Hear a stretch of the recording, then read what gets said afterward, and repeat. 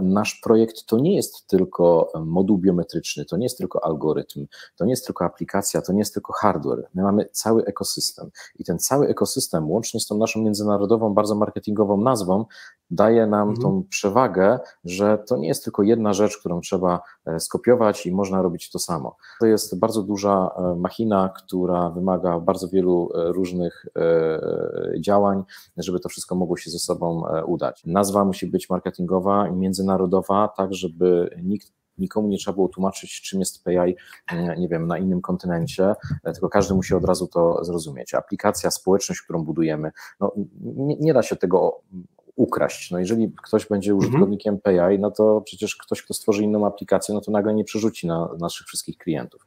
E, marketplace, mhm. który budujemy, relacje z merchantami, e, hardware, e, algorytmy, to, to, to naprawdę jest ogromna machina, więc to, to nie jest takie proste, żeby nas skopiować.